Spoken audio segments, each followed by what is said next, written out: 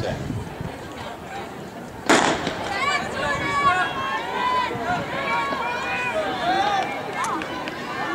Heat three off and running. Brannigan lane four, Harson lane five. Both from Dillon. Again, 15 and 16. Move!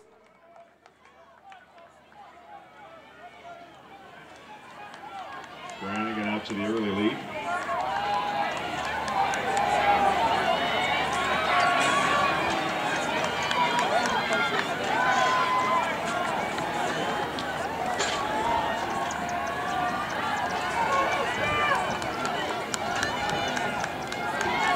Brannigan strongly in the lead, Move!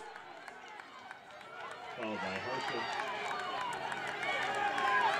Close line, coming him over.